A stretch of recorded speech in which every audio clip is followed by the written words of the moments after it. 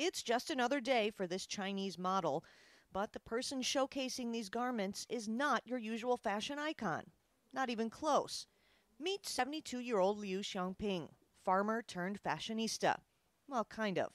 His granddaughter runs an online clothing business, and as the story goes, he offered to pose for her one day when the girl she had hired never showed up.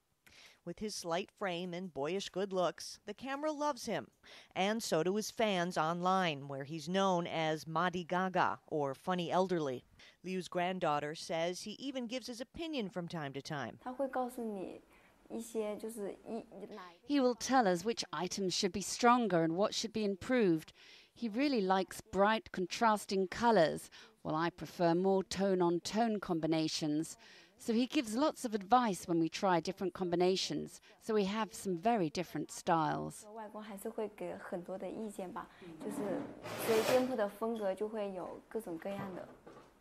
Liu's living proof it's never too late to start honing your passion for fashion.